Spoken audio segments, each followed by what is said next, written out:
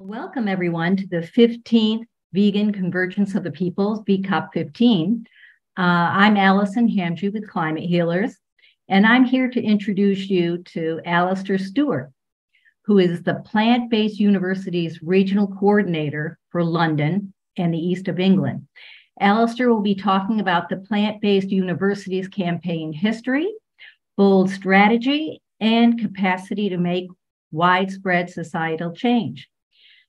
Since its beginning in 2021, the Plant Based Universities campaign has expanded with active campaign groups in over 70 universities across Europe and the United States. Plant based universities has one simple transformative objective 100% plant based university catering. With seven students' unions already passing votes to make the change, the campaign is demonstrating the power of the transformative institutional demand. So, Alistair, we are happy to have you with us, and we can't wait to hear about your campaign and what we can do to build on it. So, take it away. Thank you very much, Alison, um, and to everyone uh, at VCOP 15 for inviting me. Um, it's a real honor to speak speak with you. Um, I look forward to discussing more. I'm going to talk about for 35 or 40 minutes um, about my presentation, um, and hopefully that, and there will be some time for discussion and question and answer at the end, um, which I, I, hope will be useful for you. Um, I will share my slides now.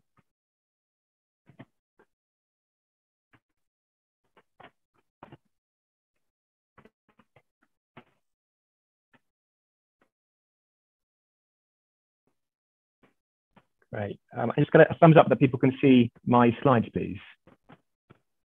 Perfect. Um, well, I will take it away. So yeah, um, uh, th thank you again.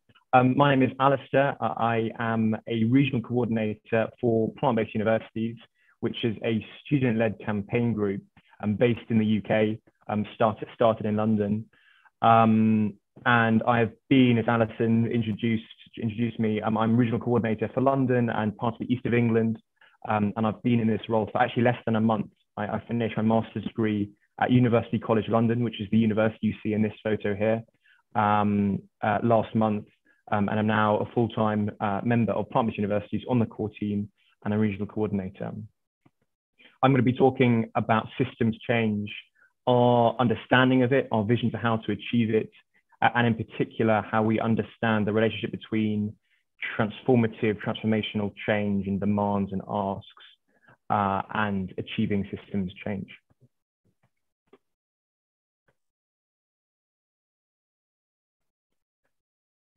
So what is Plant-Based Universities? Um, we are a student-led campaign group um, now comprising, I'm very happy to say that our numbers have increased um, since, since we last spoke, Alison. We're now, as of yesterday, we now have active campaigns at over 80 universities across the UK and the United States, Europe, and also very recently Africa, um, which, is, which is really exciting. And our aim is this 100% plant-based vegan uh, catering on campus, on, on, on college campuses. Um, we are a, uh, a campaign that is part of and kind of run by, supported by the non-violent direct action group or the kind of mass movement. We use a range of tactics, including non-violent direct action, civil disobedience, uh, called Animal Rising, um, who are um, now reasonably well known in the UK, I think it would be fair to say. Um, and Animal Rising run a number of campaigns uh, which um, have different aims and, and, and uh, kind of looking to involve different members of, of society in the animal rights and climate justice movements uh, one of which, and perhaps the most prominent of which currently is plant-based universities. Um, so yeah, that, that, that is who we are. Question we get asked is why universities? Um, I think there are a number of reasons why we why we um, have chosen universities being the kind of locus of change. Um, one is that they are leaders in society. Um, I think I think broadly speaking, uh, still a mainstream view is that universities are considered to, to, be certainly academic and intellectual leaders within society. Uh, and it's the ideas, the political, scientific, uh, moral ideas um, that come out of universities that often are at the vanguard, the, the kind of leading edge of driving social change. Um, so I think that's one reason. Another reason is that the members of universities, you know, most of whom are students in their late teens and early 20s, uh, are really, um, really good people, as in really, I think, really good people to, to reach out to uh, and uh, try and turn into campaigners and activists, uh, people who are willing to talk about and try and affect social change throughout society. Um, it won't surprise you to, to learn that uh, college age students are much more likely than their parents, six times more likely, in fact, recent UK research found, uh, to be vegan. Um, and it is the case, it certainly was the case for me during my undergraduate degree and my master's degree, uh, that there's a level of biographic availability, I think is a technical term, uh, when it comes to students. We just have a bit more time. I mean, you know, students do, we, we do work, often quite a lot of work, um, but we can often fit that work around doing other things. Um, and we tend to uh, not have so many external commitments in terms of familial commitments or, or financial kind of jobs outside of our studies, which just means that we have more time to um, think about these issues maybe and talk about them uh, and also get together and, and, and take collective action to try and drive social change throughout society. Another question we get asked, asked um, in particular by animal rights activists is why we lead with climate messaging. So it's the case that we, we, we really focus on the climate crisis, the nature crisis, the ecological crisis, the environmental crisis. Uh, we, we, we lead with, with these subjects in our messaging, in our social media, um, in our communications with the press, in our, in our, you know, in our banners, um, and in the way we, we just talk um, to other students during outreach. Again, a number of reasons for this. I, I think probably the primary reason is that universities are the institutions that are producing the research on the climate crisis, on anthropogenic climate change, um, on social change, um, and on the relationship between food production and agriculture and the climate crisis. Um, so it's universities that are producing this research, and a very big part of our strategy is just, it's very simply trying to hold the universities to account for the research they're producing and because we see it as um, it just you know there's a level of hypocrisy, a level of inconsistency. Um, if universities at the leading edge of producing scientific research on the climate are producing research, this research and then not doing anything about it, not acting on it. Um, so that's primarily why we're doing it. I think it's very important to say that um, certainly everyone in the core team of plant-based universities and the people who really, you know, the university coordinators, I think are, are entirely vegans, ethical vegans, so like vegans for the animals. Um, that's not the case for all of the campaigners. We, we make it very clear that we are we are welcome and inclusive to everyone. And I think there's actually a sense in which inviting, bringing non-vegans, bringing vegetarians, bringing even meat eaters into the can group, into the campaign group uh, can be a massive source of strength. Um, because we are very firmly targeting institutional change. Uh, we are not, um, we do not talk about, we do not target, we do not go after changing individual behavior. Uh, we are not interested in making individuals vegan. I think this is a really great strength um, because it allows us uh, to go in right. It, I think it firstly kind of drops barriers for entry to the to the campaign to the movement. Um, I think uh, there are lots of people who who want to be who want to help out and want to make these kinds of changes in university, uh, but would feel a level of kind of dissonance or a level of um, discomfort uh, if there was an expectation that they would be vegan. Um, and we just want to bring everyone in that we can um, because we think that's the best way to affect change. Um, but then there's a kind of a really interesting um, interplay there because we, we often find that people who join the movement, who join plant-based universities as non-vegans or pre-vegans, this is the term that I like to use, um, do often just through exposure to other people who are vegan, through exposure to you know the food that we the food that we eat, um, actually do end up going vegan, which is, I think is a massive strength and I think again part of our strategy. Um, so that's why we, we, we choose to lead with, um, with climate messaging.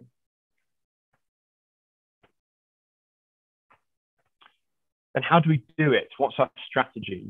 Um, so I'll just talk you through very briefly um, how we would set up a new campaign in a, in a university or in a, in a college, uh, just to give you an overview. So what would tend to happen is that um, a single person, maybe a couple people um, at a university without a plant-based universities campaign uh, would get in touch with us and perhaps via our website through signing up um, or through social media, telling us that they're interested in starting a plant-based universities campaign at their university um, and campaigning to get their university campus transitioning to fully plant-based um, catering. Um, so then we would uh, reach out to them, speak to them, um, and ask them to find two other people. We're looking at a minimum team of three to start this campaign. We then get them trained up. We conduct a three-hour training session that's, that's uh, led by a member of the core team, uh, typically over Zoom, um, to give them an overview of the campaign and um, give them direction and information about what we do, how we do it, how to deal with the press, how to manage social media, how to run outreach. Um, and then that gives them the tools they need to go away, go back to their universities and start campaigning to affect this change. And the tactics for campaigning uh, are quite varied. Uh, we really like banner drops. So you've, you've, seen some banner drops just in the photos uh, earlier in this presentation.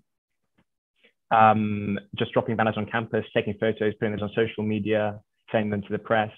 Uh, we do a lot of outreach, so just leafleting around campus, uh, which has a couple of aims. I think the, the first aim is just to increase brand recognition, increase awareness of what we're trying to achieve on campus, and trying to get people who might be neutral or even slightly opposed to what we're doing, moving them um, from maybe that worried middle towards passive allies, the kind of people who at least might consider voting in our in the favour of a policy motion that we submitted to, to, to you know a um, to the students' union that would commit us to fully plant-based catering. Another aim of outreach is obviously to, to, to turn people who, are already, who were already pretty sympathetic to us into activists, into campaigners to join our team. So that's another big um, part of what we do. But then the main lever by which we try and affect this institutional change is through the established channels of political change on campus, through student politics. Um, so at the moment, we're, we're really targeting students' unions because they are democratic, democratic elected, democratically accountable. And what we do is, as the core team, we help the uh, university campaigns to draft and write a policy motion uh, that commits the students' union, union catering outlets to transition to fully plant-based catering, typically over a period of, of years. Sometimes we do it um, kind of incrementally, so there's a kind of 60% plant-based uh, catering by the start of next year, and then 10% increase up to 100% over a period of years.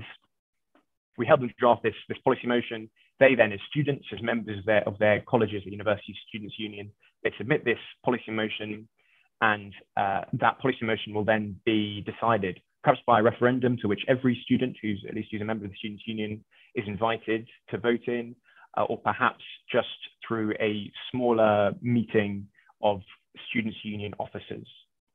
Uh, and then hopefully we win that policy motion, we, we pass this motion, uh, and then uh, the Columbia University's core team, press team, swoops in, uh, takes nice photos of the campaigners, um, and then we spread the news on social media and to the press. Um, and that is our theory of change. And the, the, plan is get the campaigners in as many universities as we can, train them up, give them resources they need to win, and let them win. That, that's what we do, and that's what that's our business.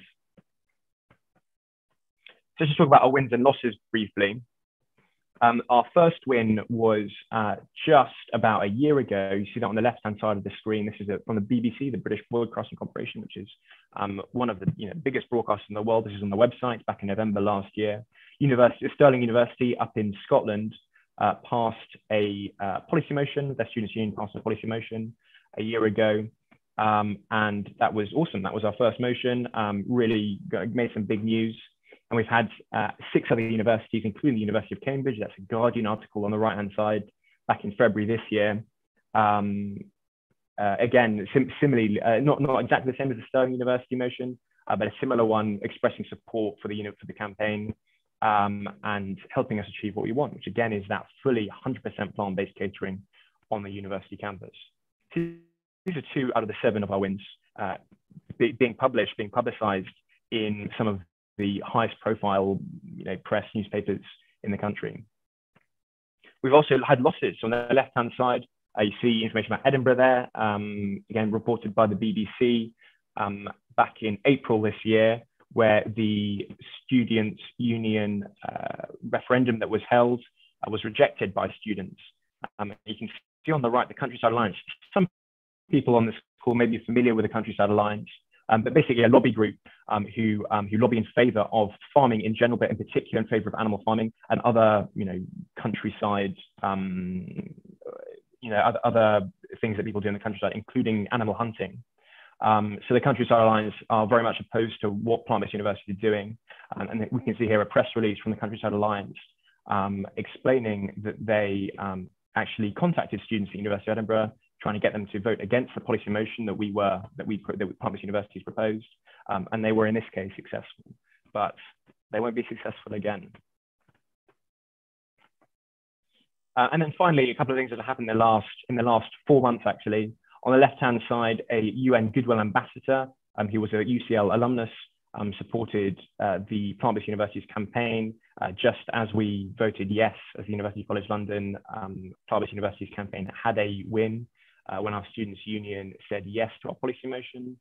Um, and then on the right-hand side, perhaps the biggest news that Plant-Based Universities has had, this was a Guardian exclusive um, at the start of this academic year, um, so only you know less than two months ago, um, where uh, back then over 650 academics, now I think close to a thousand academics have signed the plant-based universities letter, uh, which is just expressing support for uh, our demand for, for universities uh, going through that fair and sustainable transition to 100% plant-based catering on campus, uh, signed by a number of people, including George Monbiot and Chris Packham. Uh, so that was really big news, really fantastic news for us. Um, so kind of, this is the kind of thing, so these are tactics, this is our strategy, this is the kind of thing that we've been up to um, over the last couple of years. Now, moving on to change, I think this is this is just a, a table that I've created myself. It's not something that I've um, I, have borrowed from anywhere actually. Um, but I think on the on the bottom, on the x-axis of this table, um, you can you can see a number of different kinds of change that people talk about when we're thinking about animal liberation, the animal protection movements, and the climate justice movement. Different ways of making change, of making a difference in society. Um, so starting on the left, we have individual change in terms of the animal rights movement. That would probably look like people going vegan, um, or more incrementally, um, people you know consuming fewer animal products. Um, then we've got institutional change, uh, which is institutions as a whole, whether it's universities like us in plant-based universities, um, whether it's schools or government organizations, um, civil service, government departments, also charities and, and NGOs. We have legal change, uh, which is you know changing laws um, in the pursuit of um, campaigners' goals, political change, and then social change. Um, and I would say um, you can see the, the, the Plant-based University's logo that's strongest is in the uh, institutional column and in particular in the transformative, in, in, in the transformative uh, row. Um, we can understand transformative as being different from incremental, uh, transformative being um, more radical, uh, being the sense of changing everything that's going on in the system uh, or in, in, in one's behavior, whereas incremental is, is gradual, is step by step. Um, yeah, plant-based universities, we are firmly in the business of going after institutional transformative change that is the 100% the fully plant-based catering on campus. Um, so that you know that is what we set out to do. That that is our purpose. That is our mission. That's our objective. But you can see the other five um, slightly um, fuzzier or slightly um, more transparent logos are other kinds of change that fall out of that um, that that institutional transformative change. Um, we see institutional incremental change, which I will talk about later in this uh, in this presentation. Um, but we also have all sorts of other effects. So individual change, both people who, who are aware of or who join plant-based universities as non-vegans, uh, consuming fewer animal products in terms of incremental change, and also going vegan as an, as an example of transformative change. And I think we also crucially have a uh, have, have quite a significant impact in terms of social change.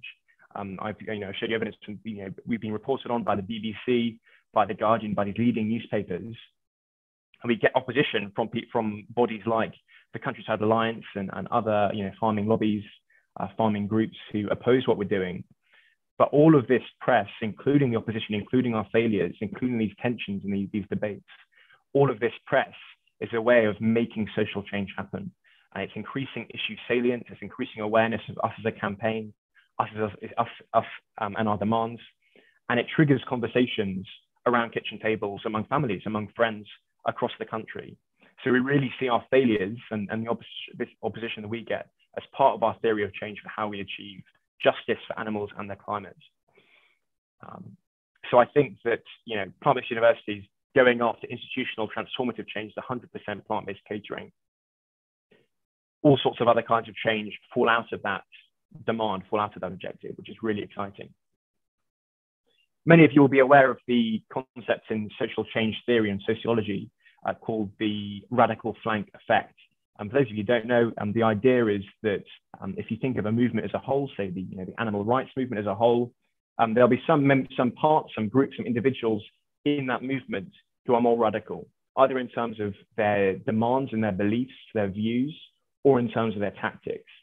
Um, I think it, it, it, can be quite interesting to understand plant-based universities as being part of the or on the radical flank of the both the animal rights movement and the, and the climate justice movement, specifically in terms of our demand. So in terms of making that radical transformative 100% demand for plant-based catering on campus, that's a much, that's a greater demand, that's a more radical demand, uh, that demand that requires more change when we compare it to um, other groups who are campaigning for issues that are, you know, that are more moderate than the fully plant-based catering on campus.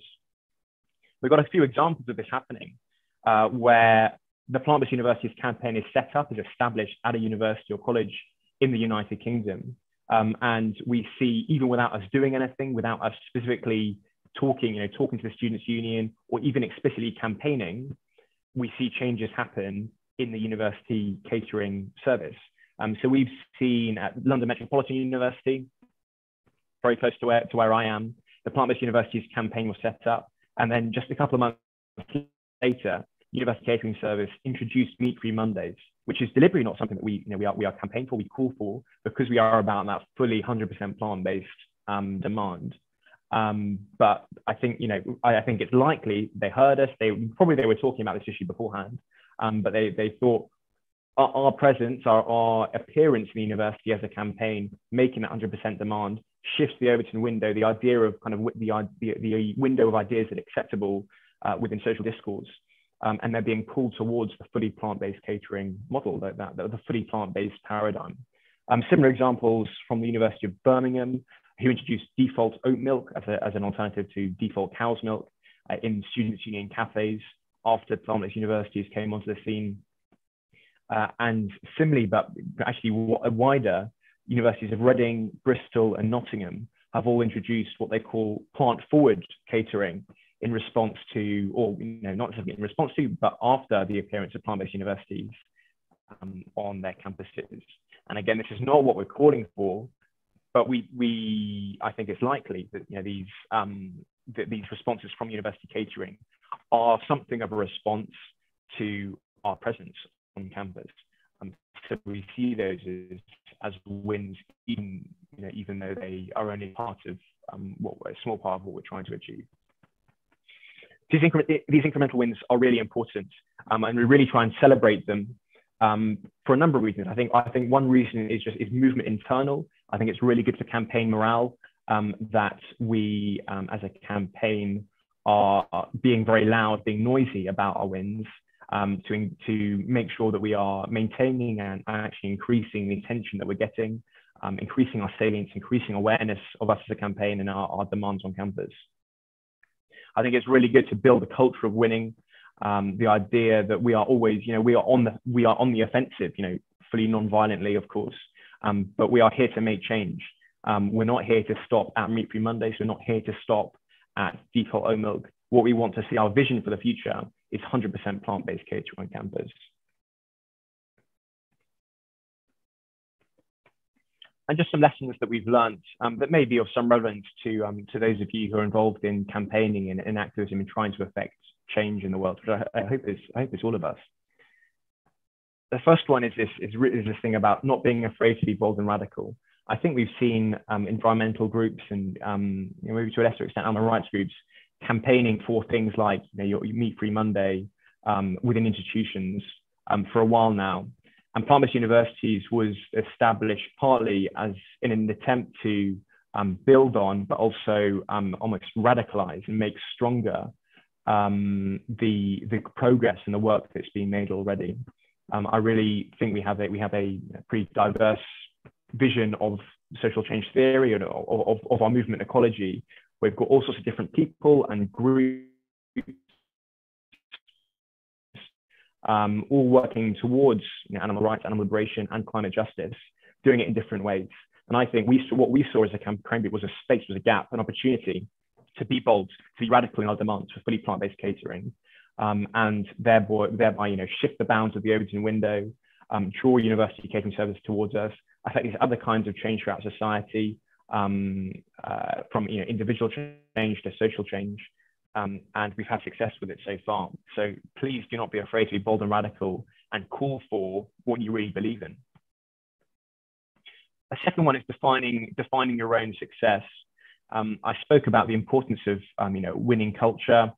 Um, I think this is really vital for you know, maintaining morale in the team, making universities feel like they are achieving, that they have ownership, they're empowered as individual university campaigns. Um, because once you've got a taste of winning, this is something that I, I'm experiencing myself, all you want is more. Something that we um, have struggled with slightly, or we, we, we did struggle with a few months ago, um, was um, something of a kind of failure of communication between the core team and the campaigns, exactly on this topic of, of how radical we should be in our demands. Um, so at one of the universities um, who were part of the Plant-Based Universities campaign, um, they had, they won a, um, a vote that was very tight um, and it drew a, lot, drew a lot of attention from students and a lot of opposition. Um, went through it went went to referendum that, that, that was passed, but you know only only just. The core team, I think, having a an idea of being more more radical and wanting to you know just grab as much public awareness of this win afterwards, um, wanted to do a banner drop in a in a pretty high profile location in, in London um, to celebrate this win and draw, draw, you know, draw attention to, to our success, um, build on it, um, and just get, get media and press attention. Um, the university campaign, having done a huge amount of really hard work um, to just get to get this motion through, to get this, you know, to, to pass this policy motion at, at their university, um, and having faced a lot of opposition, you know, it's really emotion. It's actually quite emotionally demanding. Um, they they were subject to a fair amount of abuse and trolling from from even from some other students at the university. Um, they were very opposed to what the core team were doing um, because they were worried that um, making a drawing, drawing a lot of attention, making a big deal out of this win because it was so narrow, because it was the the vote was so hostile, because it was so closely contested, um, might backfire and might provoke trigger an opposition, the opposition um, set, uh, setting up their own policy motion, their, their own way of countering what we just achieved. Um, and I think that a lesson that the core team, that we as the core team really learned, is that it's very important that there is a single vision um, and our target, the target that we're trying to achieve, whether it's you know, institutional, social, individual change, is the same throughout the whole campaign, the same throughout the whole organization. So that was real food for thought for us. Um, and I think we made a big effort and broadly been successful in making sure those communications, that those channels of communication remain open and strong um, throughout our campaigning, just to, to build trust and make sure everyone is on the same page and pointing in the same direction. Finally, then, something that I'm really seeing at the moment is the power of social networks.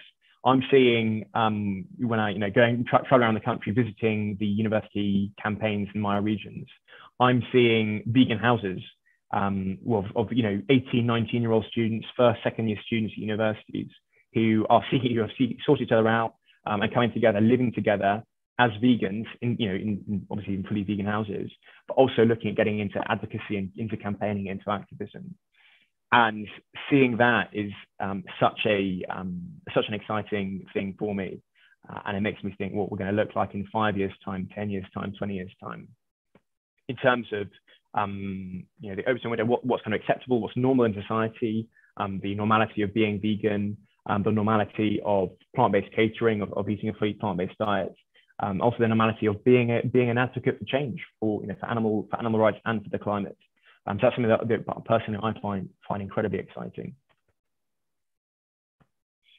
So what are our plans for the future? Um, I think what we are going to, what we want to do is continue to um, build our campaigns, increase numbers of campaigns, spread to as many universities across the United Kingdom, across Europe, across the United States, um, and beyond that. You know, I mentioned earlier we're we're now in Africa. So just continue building these campaigns um, and continue winning, um, continue passing passing policy motions through the Students' Union, through referendums, uh, moving towards fully plant-based catering on campus something that really gives me another thing that you know really excites me, really gives me hope for the future, is what we're going to do once we reach fully plant-based campuses.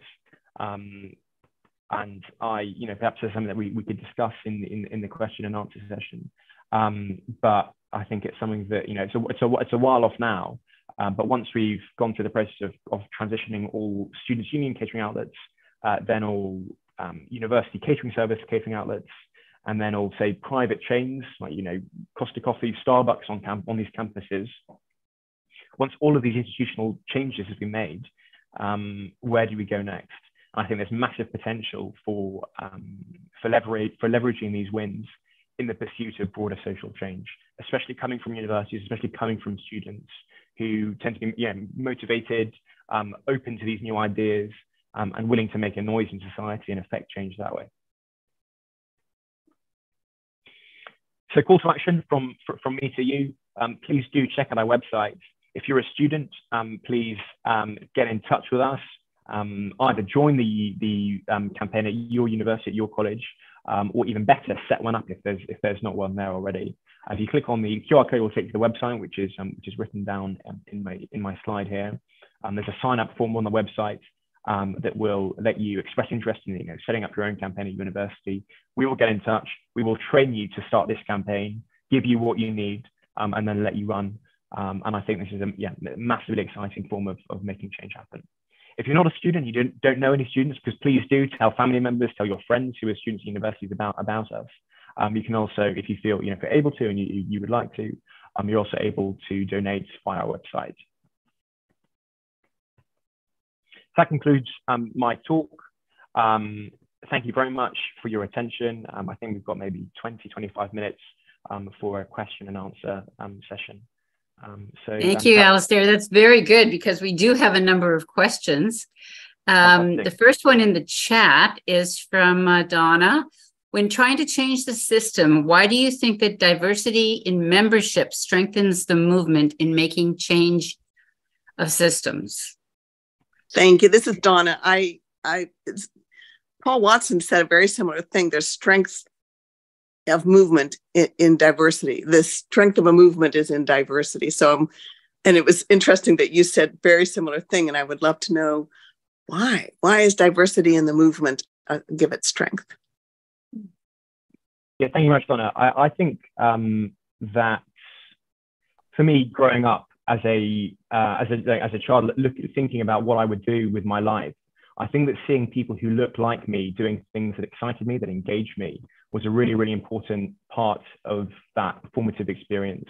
And I think the same goes for trying to affect change um, for student campaigners. I think people people at university seeing people who look like them, you know, who identify in terms of their gender, in terms of their race, um, in terms of you know, sexual orientation, people who, who are in some sense like them, doing this, putting their necks on the line, speaking out, trying to affect change is a really important form of, um, is a really important way to mobilize and inspire people to take action with us.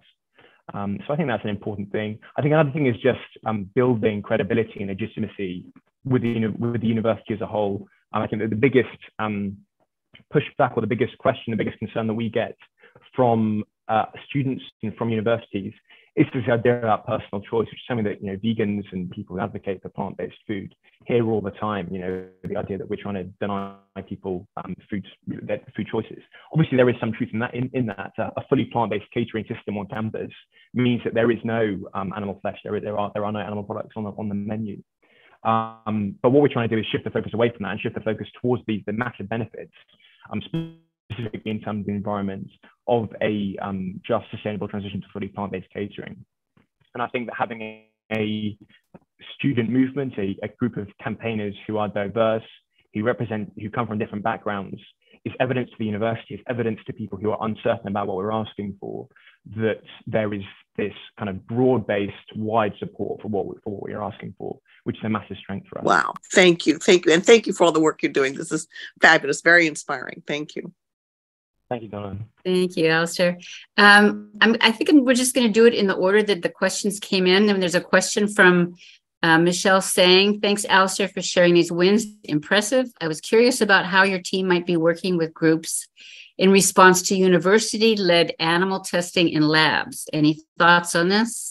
And do you partner with other groups or is your mandate very specific? And then we'll go to Tammy.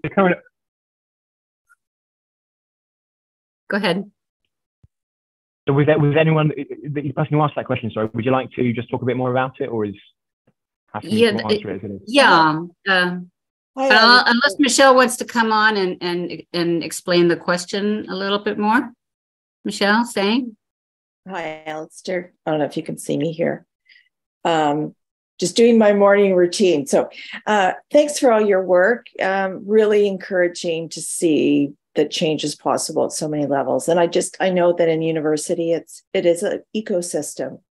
So there's activity happening, good, bad, and ugly in other parts of that system. So I just wanted to hear a little bit about how you interface with those other elements of the system. And we know that there is a lot of animal testing that goes on in universities. Um, so just how, how, did you sort of square that, I guess, with your mandate and and recognizing that um, you know there's a lot of emotional heavy lifting that goes on in this kind of movement. So that's my in just in in general my question. Thanks. I'll go off camera. thank you, Michelle. Thank, thank you, Michelle. Um, so um, last year during, during my master's at University College London, I was on the committee for Animal Rights Society, um, and I suggested, we you know, we spoke, you know, at some length, we had debate discussions about animal experimentation. Um, we and we were considering running a campaign. We didn't, we didn't do it in the end, um, but we were considering exploring and looking into um, what my, what you know, UCL, my university was doing in particular. Um, decided not to go further, but something that I am very aware of, and I think something that uh, most people in plant-based universities, certainly you know the vegans, the people on the you know committed, dedicated members of the core team, are very and painfully aware of that universities, um, who are these you know these beacons of intellectual academic progress, commit um, this exploitation, this um, effective torture of, of non-human animals on campus uh, in in their pursuit of you know scientific progress. Um, and it's something that I think, you know, students who are not engaged, who don't think about animal rights, should be aware, should be more aware of. And, you know, I think certainly I personally um, fully support anyone who is trying to draw, draw awareness of that, start conversations about that, and oppose, oppose explicitly oppose um, what these what these laboratories are doing on campus. It's outside the remit of plant-based universities. Uh, we're very we're currently very strict on our on our narrative, on our messaging. Um, just focusing focusing exclusively on the climate crisis as the um, as a kind of as a hook as our lever for driving change and that's for the reasons mostly for the reasons that I outlined in the presentation that it's universities who are producing this climate research and we're looking to hold, hold them to account for that research um, you know the knowledge that just food systems alone food production alone uh, take us over one the 1.5 degree global warming limit probably beyond the two degree global warming limit set at the paris agreement in 2015. Um, these are really powerful facts and hooks um, and levers the university needs to respond to. Uh, and so we see we see we see the climate as, as our theory of change. Um, but yeah, every I, I, I, could probably say everyone in the core team very much in favor of um, people who are opposing animal experimentation on campus. Okay, thank you. Uh, Tammy, you're next, please. Hi, wonderful presentation. Thanks so much. I appreciate it very much. I remember uh, seven decades ago that the food was awful in the university. Uh, and I wondered if you have uh, really put some effort into sustaining the decision once it's made. In other words, people have the satisfaction, enjoy the food. Uh, seems to me that's a powerful part of the of a campaign like this. Is that uh, has that come to light? Yeah, really good question, Ken. Um, I I would say that so far we haven't um, put much, put many resources uh, towards specifically like like the kind of the quality of the food.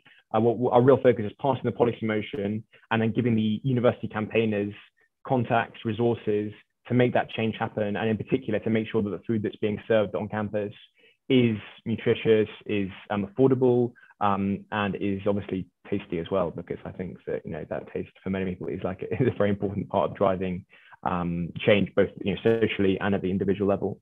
Um, so far, you know, I'm aware of people on campus. You know, one thing that we do hear from students currently who are who we speak to during outreach who you might consider you know who are you know sympathetic to some of our demands.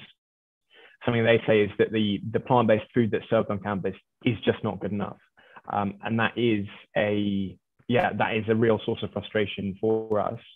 Um, and I think that, yeah, I think what we what we try to do is just empower the campaigners at that university.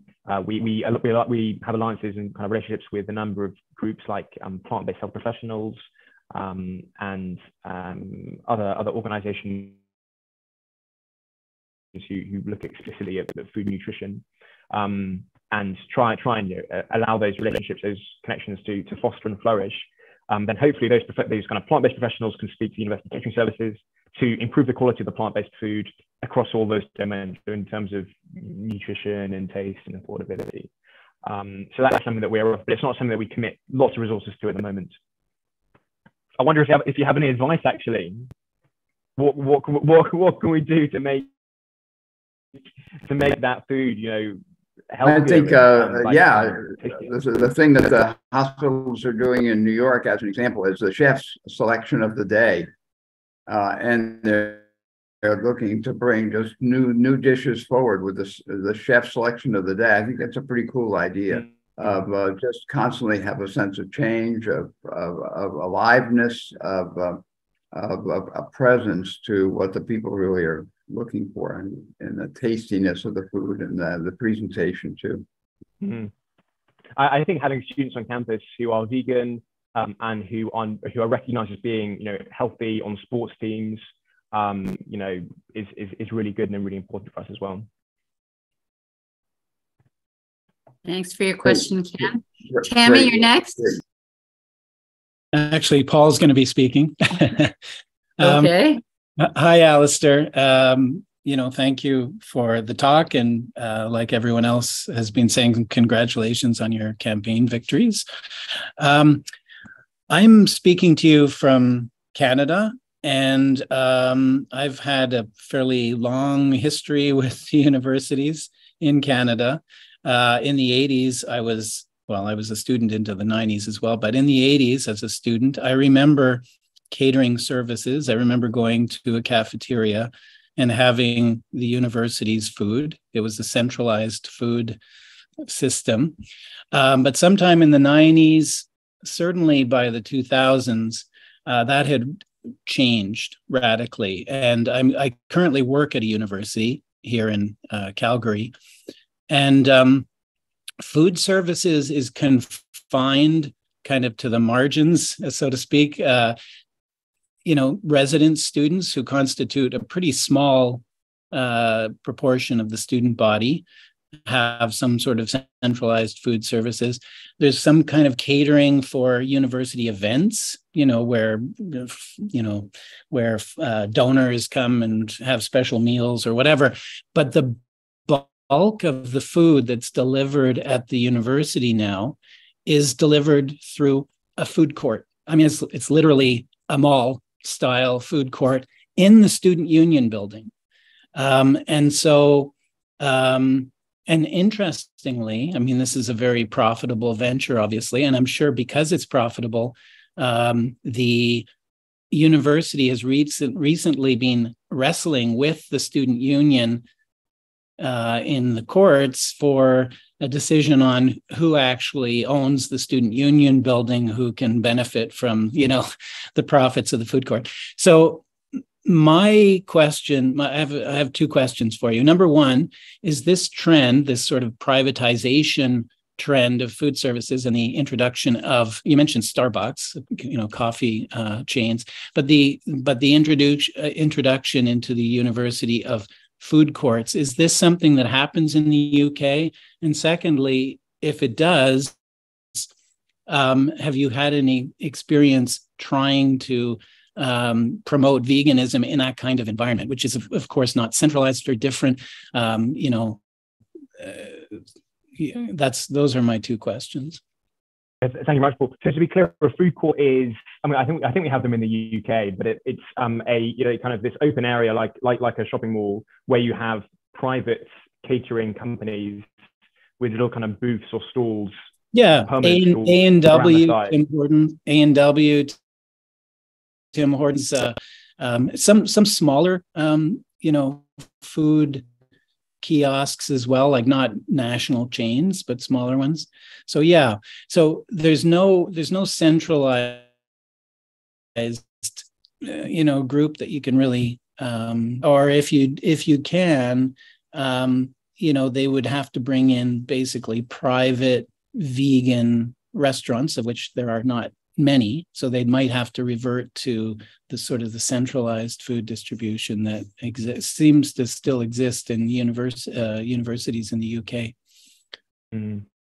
so we see in terms of the fully plant-based catering on campus we we think about this in three stages the first stage is the catering outlets that are owned by the students unions um, that's pretty. You know, we, we, we, there's a pre-established channel for affecting change there for making those going plant-based. The second one is the catering that's um, owned and run by the university rather than by the students' union, um, and we are starting to get into the into the business of going after, you know, attacking, well, not attacking, but going after trying to trying to affect change there. And the third one is, you know, the, these food courts, these private these, these private corporations who have their own outlets on, on campus. So far, we are just in, information gathering when it comes to private outlets. Um, so my the information I can give you is fairly limited. Um, we I think we tend not to have food courts certainly at the same scale, and as it sounds like you you, you describe it in Canada. Um, but we certainly do have private chains like Starbucks, um, you know, cafes, um, things like Subway as well on campus. Um, how we make those outlets go fully plant-based is it, it, feels to me like a challenge. I, I think we're going to struggle with that. I think a really obviously, obviously the key question here is who who has responsibility for those outlets? Is it the students' union? Probably not. Is it the university? They probably they probably own the land, but they're probably you know leasing it out, hiring it out, renting it out to the, to the to these corporations. What kind of jurisdiction, what kind of authority do the union, do the university have over the private corporations to change the food they're serving? We just don't know. And I think it'll depend on the university.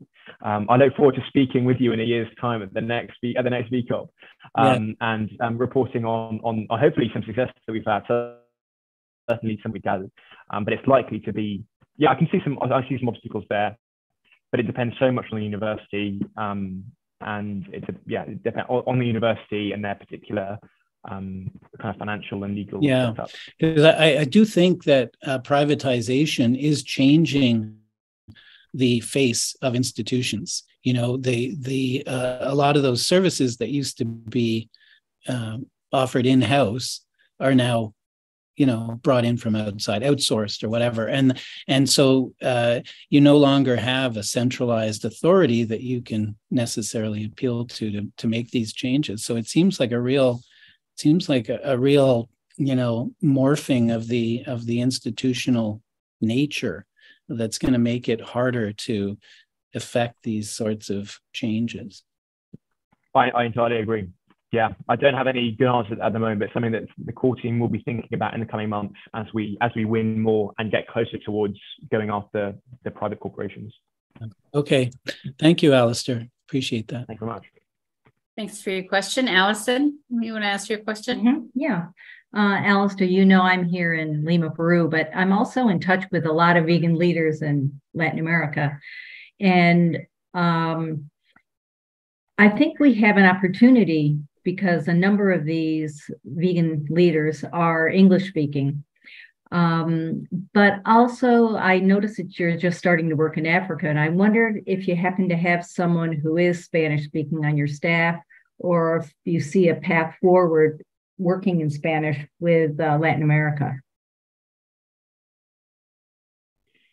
I so in terms of the language thing, I, am not aware of anyone in the. Actually, sorry, that's wrong. I, there, there was one um, very committed campaigner, the um, lead coordinator at the University of Birmingham, who is Spanish, certainly a Spanish speaker. Um, so we can speak about that after this, um, if that would be helpful for you. Um, I'll just make a note of that now. Mm-hmm. Um, in terms of the kind of language, language in general, um, we have campaigns now in the Netherlands, Germany, France, and Spain, Norway. Um, sorry, I don't think yet France and Spain, but we're looking, we're, we're almost there. Um, but certainly the Netherlands, Germany, and Norway. Um, the thing is, most of the, most of the students there speak better English than the actual like British students. I'm not sure how many, people know about European students, but they tend, you know, people from these countries tend to, spend, tend to speak extremely good English. Um, so the kind of language isn't a problem there. They can, they, they, they, broadly speaking, can take our resources if they need to translate them into English, and then then, then use those resources, whether it's campaigning guides or leaflets or posters, whatever it is. Um, but that is something something that we are aware of, um, mm-hmm. and we are think we are there have been conversations about how we um, empower, train up um, campaigns in different countries with with different language needs. Um, but that's something I'd love to speak to you about this um, about about offline. Because I don't think it necessarily means that you're going to have to have your website available in Spanish. I think that uh, there could be a, a, an option where, I mean, there's so much passion among the students in Latin America. I think that they we would be able to locate people who would want to maybe take that job on. They could create a, a web page under your umbrella. And, and uh, as a matter of fact, a bunch of leaders are going to be meeting here in Peru in December, vegan leaders. So it might be an opportunity to to make a move in that direction. So I will I'll reach out to you about that. Thank you. I've got an image of you know the, the flags that you see at the top of the website. One, one with the kind of you know United Kingdom flag for, for English speaking, and then one for you know Spain for Spanish. I think that that'd be awesome. So yeah, let's definitely let's definitely talk. Okay, good. Mm-hmm.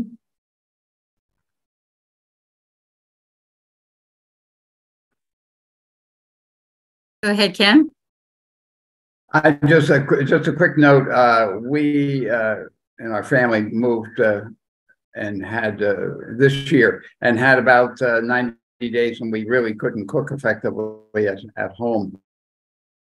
Uh, we tyrannized the restaurants in our in our little part of Lima yeah, to being fully plant based. Exactly. Yep. Uh huh. Or or they'll lose that business altogether uh, and not to charge uh, uh, here, not to charge extra for uh, plant-based milk, for instance, things like that. Just a, a way a way to open them up to a new market, a new opportunity. Uh, yeah, I, I, think that, that makes sense. I mean, uh, having having that fully plant-based, hundred percent plant-based demand is a really is like the core of our identity as, as plant-based universities, and that's for strategic purposes as well as as well as symbolic purposes. Um, so if we were to, you know, when we, as and when we start dealing with um, private private catering outlets like, you know, Starbucks on campus, um, we we would want to be asking them to go pretty plant based, and, and I think we we might consider think, you know boycotts, as you know, as you, you alluded to, trying to organise that kind of change to drive that change. Um, I think that our just our presence, our appearance on campus is the kind of thing that would encourage chains like Starbucks to make this more incremental changes, like increasing the number of options, the number of plant-based options on the menu, like not adding a surcharge for plant milk as opposed to cow's milk, um, which we would see, which we want to we want to bank those. That there's there's incremental wins for us, but we don't want to stop there. We, we want to build until we have fully plant-based Starbucks on campus. I don't know if any of those exist currently, um, but watch this space, and hopefully in you know a couple of years' time, um, you'll you'll see the first plant-based Starbucks on a UK university, thanks to plant-based universities somebody recently said bold and radical, I think. Exactly. That's us. We have just a few minutes left. Ray, can you ask your question succinctly, please? Sure. Uh, great work, Alistair. Uh, it's very exciting to see the universities get involved in that. Uh, one of the things that it uh, made me think of is the divestment movement from fossil fuels in universities. Have you heard anything about divesting from um, animal agriculture? That's something that the core team at Plant Universities are currently speaking about. I think there's loads of scope um, for that to be a really exciting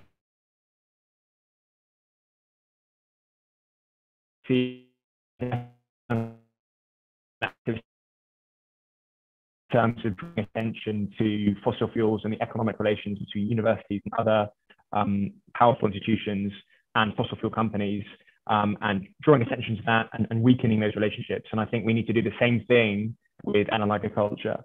Um, so again, please watch this space. And I think I think over the next year you're going to see um, divestment campaign, divestment campaigns um, coming out of plant-based universities. I'm curious, uh, where do you see the opposition? Every there's many of these universities will have an agricultural department. Do the uh, the uh, meat lobby are they? Do you feel their their actions and is it behind the scenes or is, do you have evidence of uh, overt attempts to thwart what you're trying to accomplish? Yeah, so I'm not sure if you saw my yeah, there's a slide I presented earlier, um, a press release from the Countryside Alliance, which is a UK um, animal farming and animal exploitation lobby. I think it would be it would be fair, you know, we would call it animal exploitation lobby, who advocate for animal farming, fishing, hunting, shooting, etc. Um, and they said in a press release, they, they, they explicitly said in, a press release following the plant-based university's motion failing at the University of Edinburgh, that they mobilized, they contacted students at Edinburgh and got them to mobilize and, and vote against our motion. Um, they would typically, I think there were a lot of vets there, so vet, vet, veterinary students there. Um, I think that um, members of, I mean, we also see, you know, some, certainly not all, but some members of the Conservative Society, for instance, on campus, um, or people who had uh, uh connections with, with, you know, rural, with farming, with animal farming. Um, they're the kinds of groups um, who oppose what we're doing, um, who, are, who we're aware of. And a massive, massive part of our strategy for dealing with that is speaking to them, is reaching out to them um, and um, trying to trying to bring them closer to us.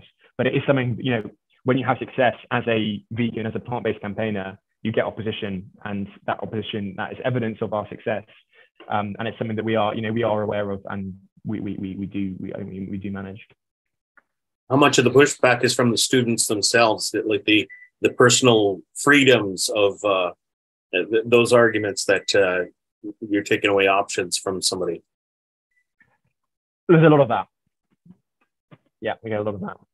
And we try and shift the focus from this idea of reducing personal choice to focusing on institutional choice. How can the university justify serving animal products, you know, contributing towards causing animal agriculture in the context of a climate crisis that they're producing research from? So that, that's basically our strategy for dealing with that, with that pushback. Thanks a lot, Alistair. We'll be looking, we'll watch it with uh, close interest. Thank you.